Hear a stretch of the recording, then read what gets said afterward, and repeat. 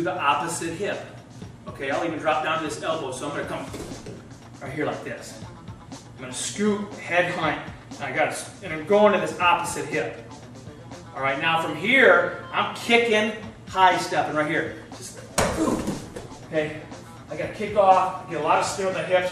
I'm looking to duck underneath, big old cowboy across, right over, right here.